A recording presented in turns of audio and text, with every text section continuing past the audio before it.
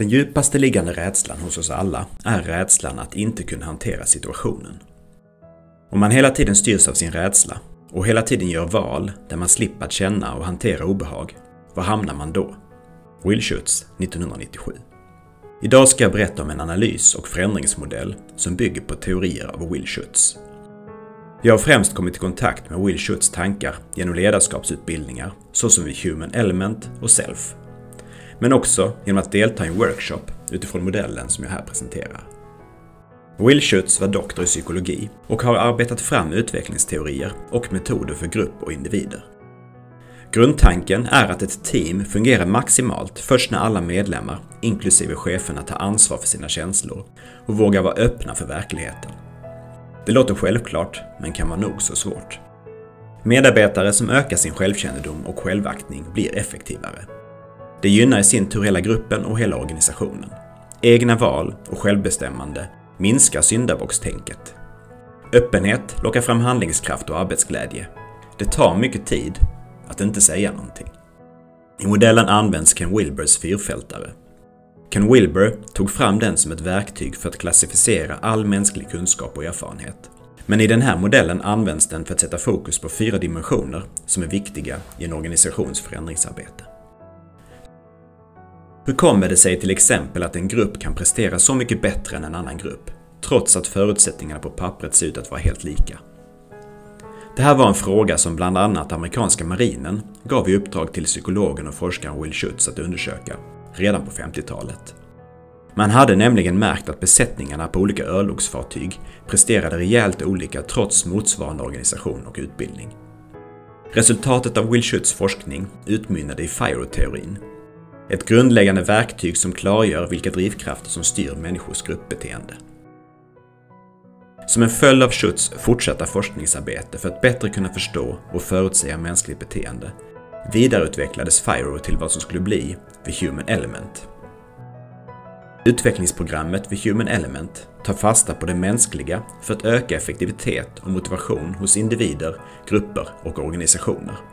Allt för att skapa den goda organisationen. Teorierna handlar om att utveckla självkännedom, självkänsla, kommunikationsförmåga och förmåga till konflikthantering hos individer och möjliggöra för öppenhet och eget ansvarstagande. Rädsla, rigida beteenden och ineffektivitet kan minska. Människor kan sluta känna sig som offer för omständigheterna och ersätta det med medvetna egna val. I förändrings och förbättringsarbete står ledare och medarbetare i en organisation inför två typer av val. Det ena valet handlar om att förverkliga det man vill uppnå. Det kan handla om att nå önskvärda resultat, att utveckla rätt processer som fungerar, att utveckla de kompetenser som behövs och att utveckla de drivkrafter och den värdegrund som behövs för att åstadkomma det önskvärda resultatet. Den andra typen av val handlar om saker vi gör för att undvika obehag. Grundrädslan, enligt Will Schutz, är rädslan för att inte kunna hantera en situation och som i sin tur kan delas in i tre dimensioner. Rädsla för att bli ignorerad, rädsla för att bli förödmjukad eller avvisad. En ledare som sätter upp mål för sin organisation kan hindra sig själv för att nå framgångar då hen låter sig styras av sina rädslor. Vem blir jag i det nya? Blir jag lika betydelsefull? Rädslan för att misslyckas. Det nya kanske inte fungerar. Det kanske blir kaos. Folk säger upp sig. Det kommer innebära en del impopulära beslut. Jag blir nog inte nominerad till årets chef. Faran är om vi låter önskningar om att undvika obehag ligga till grund för det val vi gör.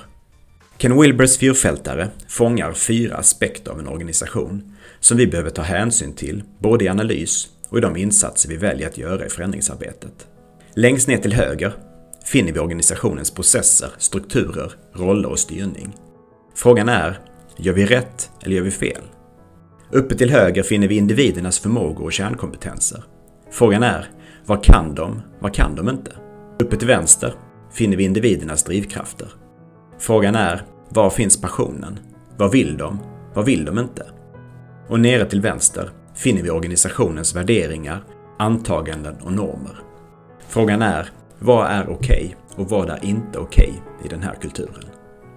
Den högra delen av fyrfältaren är den del som traditionellt fokuseras i verksamhetsutveckling Till exempel genom kompetensutveckling, föreläsningar och kurser. Eller att nya roller, ny organisation och nya strukturer tas fram. Detta handlar om hårda värden som vi kan sätta ord på i vår organisation. I den vänstra delen av fyrfältaren finner vi däremot den stora utvecklingspotentialen. Det spelar ingen roll vilken organisation eller vilka kompetenser vi har om medarbetarna inte vill delta i förändringen. De mjuka värdena är organisationens hjärta och själ och om vi inte får med oss dessa delar kommer heller ingenting att ske. Vi kan använda fyrfältaren både när vi gör analyser och när vi utformar våra förändringsinsatser. När vi gör analyser behöver vi titta på alla fyra kvadranterna för att förstå våra resultat. Först behöver vi göra en nulägesanalys och det är viktigt att den speglar verkligheten och inte någon idealiserad bild av verkligheten. Vi behöver fundera kring vad har vi för resultat idag? Vilka processer har vi som lett till resultatet? Vad kan vi och vad kan vi inte idag? Vad får medarbetare att göra jobbet? Vad får medarbetare att undvika att göra jobbet? Och vad är okej okay och inte okej okay idag? Redan i nulägesanalysen börjar det bli klart för oss vilka flaskhalsar och brister vi har.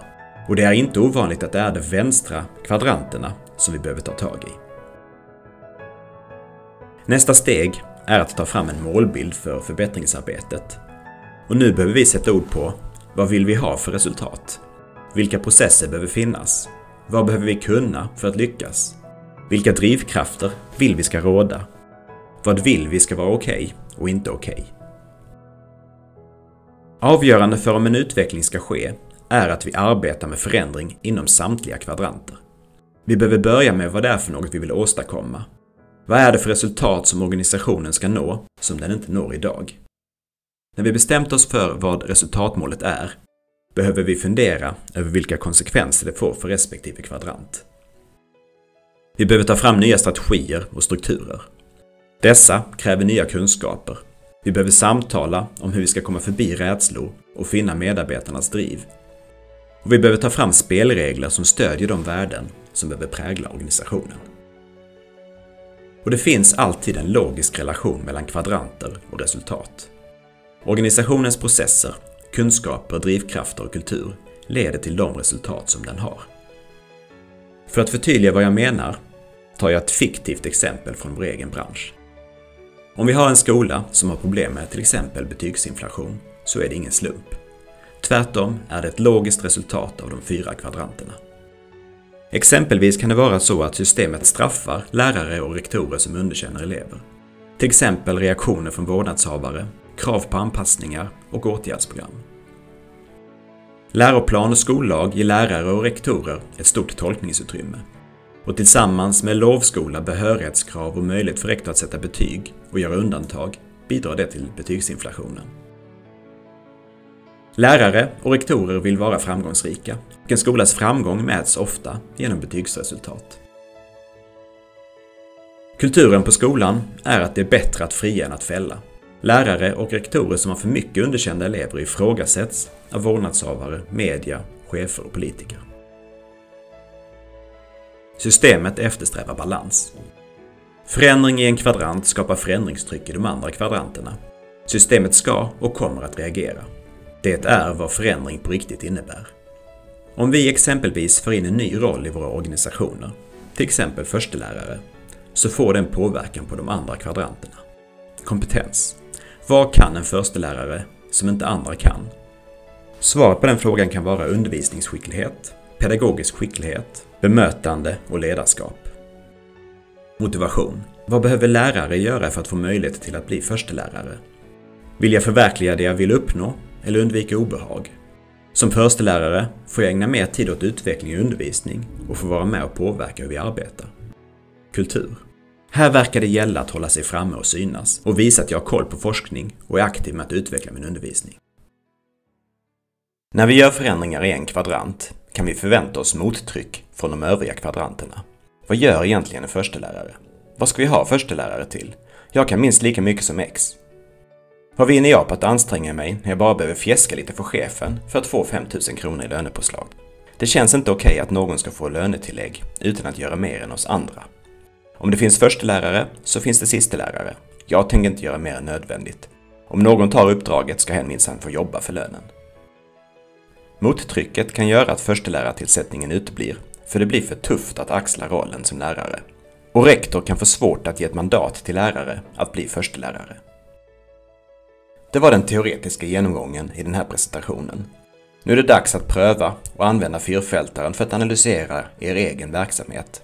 Syftet är att få syn på vilken eller vilka av kvadranterna som är flaskhalsen i er utveckling. Tack för mig!